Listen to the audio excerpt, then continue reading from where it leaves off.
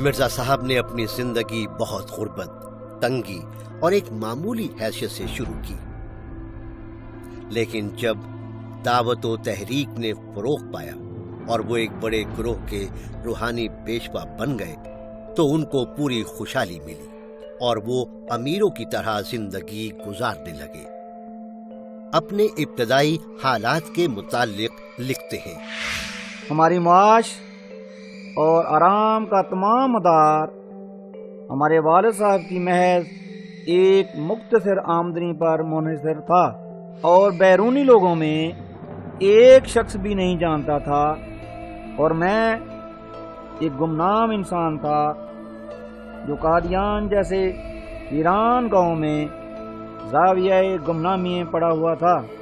مجھے صرف اپنے دسترخوان اور روٹی کی فکر تھی۔ پھر مرزا صاحب ایک مناظر اور اسلام کے ایک وکیل کے طور پر سامنے آئے۔ انہوں نے چندے کی بھرپور اور جذباتی مہم شروع کی۔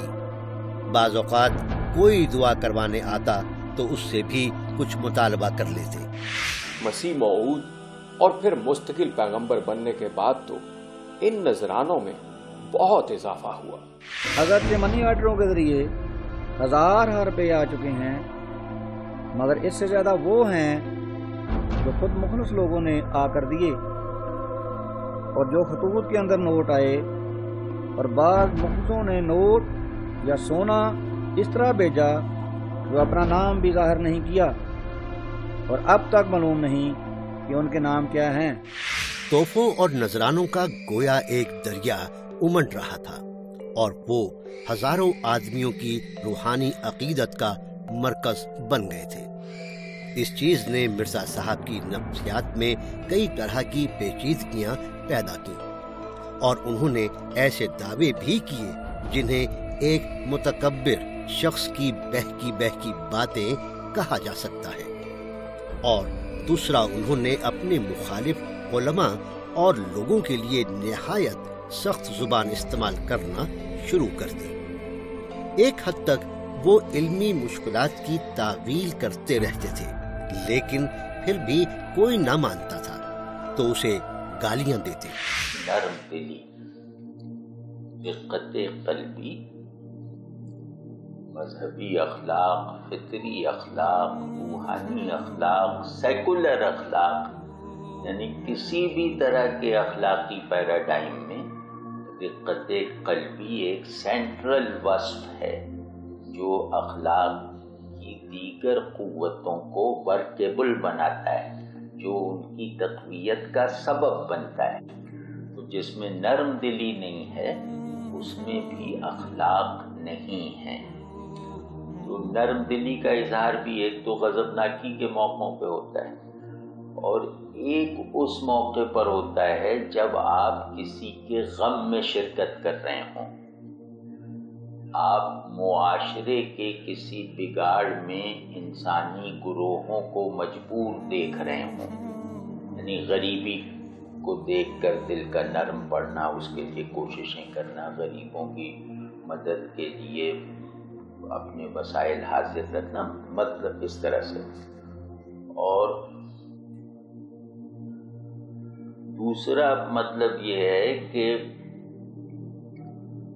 اپنے دشمن کا بھی بدخواہ نہ بننا۔ نرم دل آدمی کسی کو بد دعا نہیں دے سکتا۔ یہ یہ مطلب ایک اٹل ضابطہ ہے۔ نرم دل آدمی بد دعا کو فرض سمجھ کے ایک عمل کے طور پر تو زبان سے ادا کر دے گا۔ لیکن اس بد دعا میں انہماک نہیں دکھائے گا۔ میں صرف اسے ایک پہلو سے عرض کر رہا تھا۔ مرزا صاحب کے لٹریچر کا ایک اچھا خاصا حصہ بہت جوش و خروش سے کی گئی بد دعاؤں کا مجموعہ ہے۔ جس سے اور باتوں کی نفی ہوتی ہو، سو ہوتی ہو، نرم دلی کی نفی یقیناً ہو جاتی ہے۔ وہ نرم دل نہ تھے۔ تو اب اگلی جو چیزیں، یہ بالکل میں اخلاق کے عمومی معیار پہ رہ کے دیکھ رہا ہوں۔ ابھی اخلاق کے اونچے معیارات نہیں، کیونکہ وہ کسوٹی، اس کسوٹی پہ انہیں پرکھا نہیں جا سکتا۔ یعنی عدم کو وجود کی ٹرمز میں نہیں پرکھا اور سمجھا جا سکتا۔ نا تو ہم اوپر کے اخلاقی مراتب نہیں دیکھ رہے ابھی، بالکل۔ ابھی ہم بالکل عمومی مسلمہ اخلاقی ضوابط دیکھ رہے ہیں۔ جو ہر شخص مانتا ہے، چاہے وہ خدا کو مانتا ہو یا نہ مانتا ہو، ان اخلاقی مسلمات کو مانتا ہے۔ تو ان معمول کی کسوٹیوں پر بھی اگر کوئی شخصیت پرکھے جانے کے عمل میں سرخرو نہ ہو سکے اس کے بارے میں نبوت وغیرہ کا دعویٰ کر دینا، اس کو نبی مان لینا، اس کا اپنے آپ کو نبی تصور کر لینا۔ یہ سب مطلب لگتا ہے کہ ہم شاید خواب دیکھ رہے ہیں یا بے ہوشی میں یہ سب دعوے سن رہے ہیں مطلب ان کی کوئی ایک بنیاد بھی تو نہیں ہے نا۔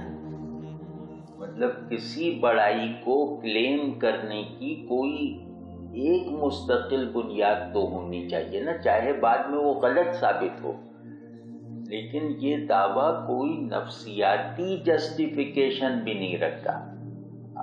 دینی جسٹیفیکیشن تو رکھتا ہی نہیں۔ لیکن اس طرح کی بڑی بڑی باتیں ایسی شخصیت کے منہ سے اگر نکلیں، تو یہ نفسیاتی مرض کی وہ قسم ہوگی جو شاید انہی کی ذات سے ایجاد ہوئی ہے۔ وہ امراض کی فہرست میں بھی نہیں تھا۔ اس تکبر بہ کے بہ کے دعووں اور گالیوں کے پیچھے چندوں اور نذرانوں کا سہارا موجود تھا۔ ایک مورخ اور سبان نگار کے لیے یہ نہایت اہم بات ہے کہ وہ دیکھے کہ مرزا غلام احمد کی زندگی میں جو معاشی انقلاب آیا، اس نے ان کے کردار اور رویے میں کیا تبدیلی پیدا کی۔ کیونکہ سچے درویشوں اور زاہدوں کی زندگیاں بتاتی ہیں کہ وہ لوگوں کے دیے ہوئے تحائف سے بے نیاز ہوتے ہیں اور جو کچھ ان کے پاس آتا ہے آگے تقسیم کر دیتے ہیں اور اپنے لیے کچھ نہیں رکھتے۔ لیکن مرزا صاحب کے حالات ہمیں کوئی اور کہانی سناتے ہیں۔ ہمیں ان کی آخری زندگی میں ان کے اور ان کے اہل خانہ کے حالات میں تعیش اور غفلت کے مناظر نظر آتے ہیں۔ یہاں تک کہ یہ چیز ان کے مخلص ساتھیوں کے لیے بھی استراب کا باعث ہوئی اور دل کی بات زبانوں پر آنے لگی۔ مرزا صاحب کے گھر والوں کا طرز زندگی، ان کے راسخ الاعتقاد پیروکاروں کے لیے بھی باعث اعتراض ہونے لگا۔ خواجہ کمال الدین نے ایک روز اپنے مخصوص دوستوں کے سامنے اس بات کا تذکرہ کیا کہ ان کے گھر کی جو خواتین مرزا صاحب کے گھر کی رہائش اور طرز زندگی دیکھ چکی ہیں، وہ اثار و قناعت کرنے اور اپنی ضرورتوں کو کم کر کے جماعت کے لیے روپیہ بھیجنے کے لیے ہرگز تیار نہیں ہے جماعت احمدیہ کی تاریخ بتاتی ہے کہ مرزا صاحب کے زمانے میں ان کے زیر نگرانی لنگر کا جو انتظام تھا، اس سے بہت سے مخلص احمدی حضرات مطمئن نہ تھے۔ ان کے نزدیک اس میں بہت سی بدعنوانیاں ہوتی تھی خواجہ کمال الدین صاحب نے ایک موقع پر مولوی محمد علی سے کہا، یہ کیسے غضب کی بات ہے کہ آپ جانتے ہیں کہ قوم کا روپیہ کس محنت سے جمع ہوتا ہے اور جن اغراض قومی کے لیے وہ اپنا پیٹ کاٹ کر روپیہ دیتے ہیں وہ روپیہ ان اغراض میں صرف نہیں ہوتا بلکہ بجائے اس کے شخصی خواہشات میں صرف ہوتا ہے۔ یہ اعتراضات جب مرزا صاحب کے کان تک پہنچے تو انہوں نے بہت ناگواری اور ناراضی کا اظہار کیا۔ خدا کا منشا یہی ہے کہ میرے وقت میں لنگر کا انتظام میرے ہی ہاتھ میں رہے۔ ہمارے پیارے نبی صلی اللہ علیہ وسلم نے فرمایا کہ جب نبی دنیا سے جاتا ہے تو اس کی وراثت نہیں ہوتی۔ اس کی جو جائیداد ہوتی ہے وہ صدقہ ہوتی ہے۔ آپ مرزا کو نبی بھی مانتے ہیں اور اس کی جائیداد پہ سارے خاندان میں بٹ رہی ہے۔ ہزاروں ایکڑ زمین انہوں نے خریدی ہے چندے سے۔ اور یہ لینڈ کروزر اور یہ جو گھروں کے خرچے چلتے ہیں اور یہ پچاس پچاس انہوں نے گھروں میں یہ قادیانی جو ان کے خلیفے ہیں، گھوڑے رکھے ہوئے ہیں، جو انہوں نے اپنے شوق کے طور پر رکھے ہوئے ہیں۔ ان کا خرچہ کون برداشت کرتا ہے؟ یہ چندوں سے برداشت ہوتا ہے۔ جو اخلاق کا ادب ہے، وہ ہے بے لوسی صاحب خلق ہوگا، وہ بے لوس ضرور ہوگا۔ اور یہی وجہ ہے کہ انبیاء علیہ السلام دنیا، دنیاوی لذتوں، دنیاوی ملکیتوں سے اکثر کنارہ کش رہے۔ اس پر دسترس اور قدرت رکھنے کے باوجود، اور اگر کہیں دنیا کو مغلوب کرنے کے لیے دنیا میں داخل بھی ہونا پڑا، اس میں اقتدار کا مالک بھی بننا پڑا، اس میں اموال کو بھی اپنی تحویل میں رکھنا پڑا، تو وہ بھی ایک ادائے کنارہ کشی کے ساتھ ہے۔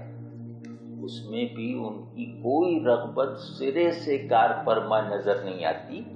اس میں بھی وہ دنیا کو اس لیے قبول کرتے ہیں تاکہ حق سے اس کی مغلوبیت کی رفتار کو تیز کر دیں۔ اپنے ظاہر نبی کا ہاتھ جس چیز پہ پڑ جائے، وہ چیز جنت میں داخل ہو گئی، وہ تو جنت کا آبجیکٹ ہے۔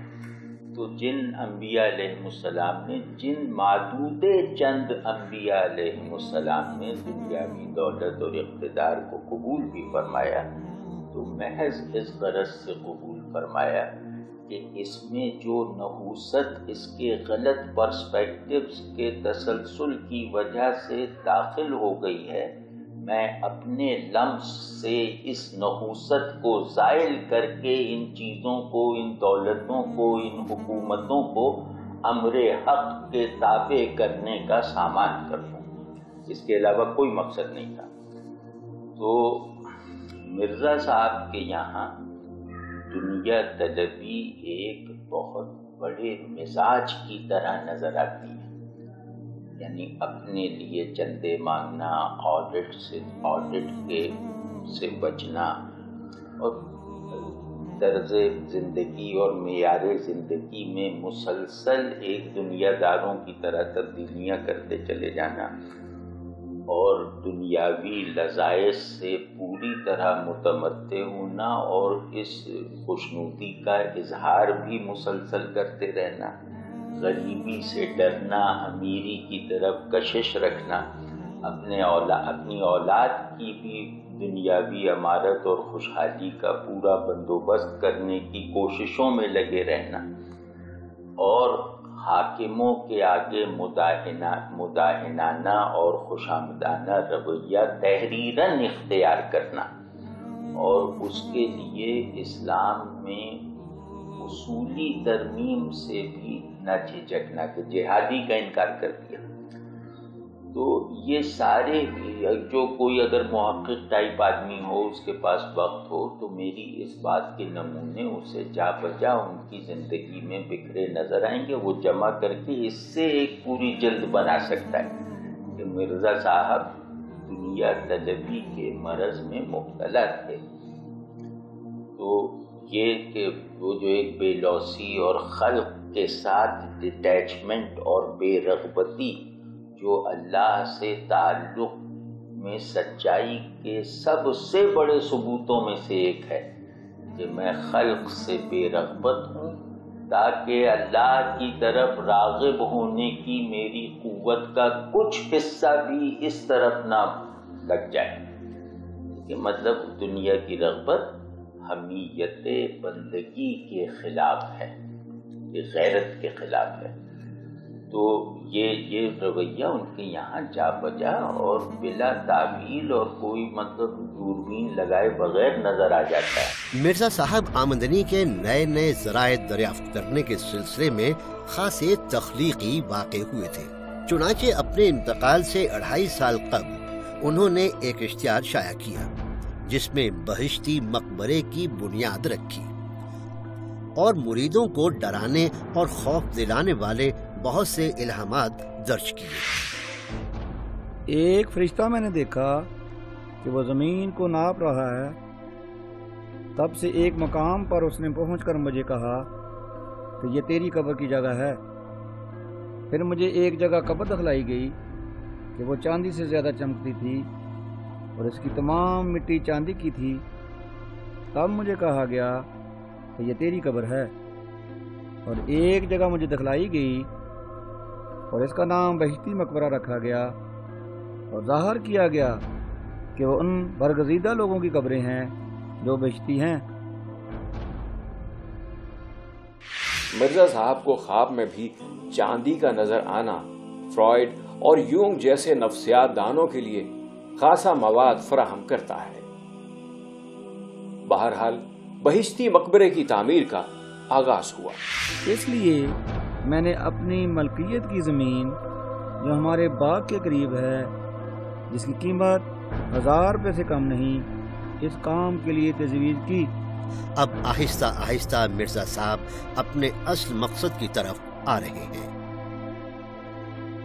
اس قبرستان کی زمینیں موجودہ بطرز چندہ میں نے اپنی طرف سے دی ہے لیکن احاطہ کی تکمیل کے لیے کسی قدر اور زمین خریدی جائے گی، جس کی قیمت اندازاً ہزار روپے ہوگی۔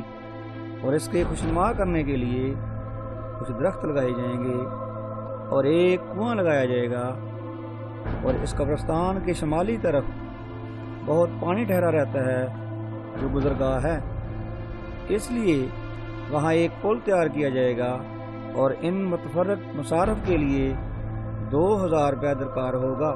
سو کل یہ تین ہزار ہوا۔ اس تمام کام کی تکمیل کے لیے خرچ ہوگا۔ سو پہلی شرط یہ ہے کہ ہر ایک شخص جس قبرستان میں مدفون ہونا چاہتا ہے وہ اپنی حیثیت کے لحاظ سے ان مصارف کے لیے چندہ داخل کرے۔ اب ایک عجیب شرط سنیے۔ دوسری شرط یہ ہے کہ تمام جماعت میں سے اس قبرستان میں وہی مدفون ہوگا جو اپنی جائیداد کے دسویں حصے یا اس سے زیادہ کی وصیت کرے۔ اب ایک اور شرط سنیے۔ مرزا صاحب کوڑ اور جزام کے مریضوں کو اس فائیو سٹار قبرستان میں داخلہ دینے سے گریزا ہے لیکن وہ ان کے روپے سے بھی محروم رہنا نہیں چاہتے۔ اگر کوئی وصیت کرنے والا مجزوم ہو تو ایسا شخص اس قبرستان میں دفن نہ ہوگا۔ لیکن اگر وہ وصیت پر قائم رہے تو اس کو وہی درجہ ملے گا جو دفن ہونے والے کو۔ اب ایک اور عجیب شرط سنیے۔ میری نسبت اور میرے اہل و عیال کی نسبت خدا نے استثناء رکھا ہے۔ باقی ہر ایک مرد ہو یا عورت، ان کو ان شرائط کی پابندی لازمی ہوگی اور شکایت کرنے والا منافق ہوگا۔ مرزا صاحب کی ایک ہزار روپے کی انویسٹمنٹ بہت رنگ لائی۔ اور اس طرح بہشتی مقبرے کی صورت میں مرزا صاحب اور ان کے خاندان کے لیے آمدنی کا ایک وسیع اور مستقل سلسلہ شروع ہو گیا۔ حقیقت یہ ہے کہ مرزا صاحب کے اس عمل نے قرون وسطی کے مسیحی چرچ کی یاد تازہ کر دی۔ جب پوپ باقاعدہ لوگوں کو جنت کے سرٹیفکیٹ فروخت کیا کرتے تھے۔ اگر پندرہ سال کی عمر میں کسی کو یہ بتا دیا جائے اور اس سے وعدہ لیا ہے ایگریمنٹ سائن کرا لیا جائے کہ اگر تم تمام عمر اپنی آمد کا یہ ٹین پرسینٹ دیتے رہو گے تو تم بہشتی مقبرہ میں دفن ہوگی اور جنت تمہیں مل جائے گی۔ سو کون انسان ہے کہ جو اس کے علاوہ کوئی اور بات سوچے گا؟ کہ کم عمری میں کچے ذہن کو یہ کہہ دیا جاتا ہے کہ تمہیں جنت ملے گی۔ That's the ultimate goal of any person تو وہ ساری عمر جو ہے اس وشوس سرکل کے پیچھے بھاگتا رہے گا۔ اور یہ اختیار جماعت کو حاصل ہے کہ کسی وقت بھی وہ اس کی وصیت کینسل کر سکتے اور ایون یہاں تک کہ جناب نے کہ ربا میں بھی اس کا جب جنازہ پڑا ہوتا ہے، تو وہاں اس اس وقت بھی اس کا حساب کتاب کیا جاتا ہے۔ اور یہ جماعت کو اختیار حاصل ہے کہ وہ چاہے تو آپ کی وصیت کینسل کر دے اور آپ کو وہاں بچتی مقبرے میں نہ دفن کیا جائے۔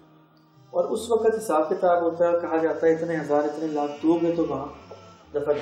بہشتی مقبرہ، رفتہ رفتہ جماعت احمدیہ کا ایک اہم ڈپارٹمنٹ بن گیا۔ الفضل نے اپنی ایک اشاعت میں لکھا مقبرہ بہشتی۔ اس سلسلے کا ایک ایسا مرکزی نقطہ ہے اور ایسا عظیم الشان انسٹیٹیوشن یعنی محکمہ ہے جس کی اہمیت ہر دوسرے محکمے سے بڑھ کر ہے۔